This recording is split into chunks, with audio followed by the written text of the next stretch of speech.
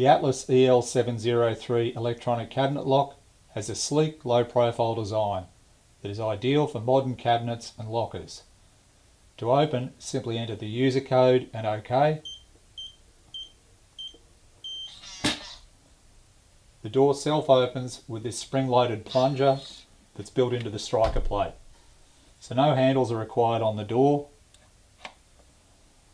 The lock is self-latching, so to close simply press the door shut and it's locked. The Atlas EL703 has a master code which can set and reset codes and a user code which is the standard mode where a code is set and continually used like in an office situation.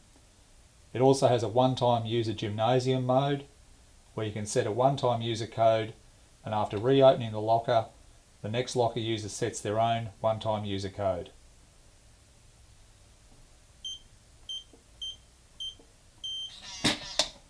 The lock can be fitted on doors from 10mm up to 19mm thick. The lock is powered by four AA batteries